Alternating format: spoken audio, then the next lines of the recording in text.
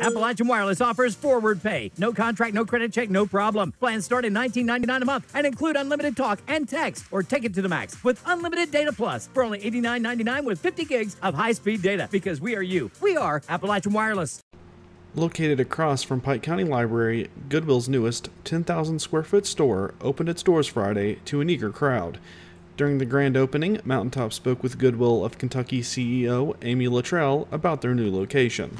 Well, this is the grand opening of our new Pikeville store. Our former Pikeville store was up in Coal Run, was a much smaller facility, uh, not as good accommodations for especially our donors, uh, but also our employees who need to process all those donations and our shoppers. So this one has a larger sales floor, it has a drive-through donation, and it's got a sizable back room so our employees can work comfortably there.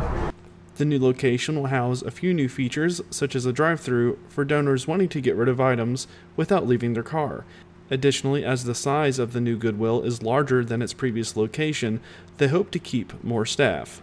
The size of our workforce will fluctuate with our sales, so we know that in this store we'll be able to sell more goods, so that means we'll be able to bring more jobs to Pikeville, and we'll have more funding for our services. As a part of Goodwill's slogan is to purchase with a purpose, Luttrell says they hope to help those seeking to build new lives.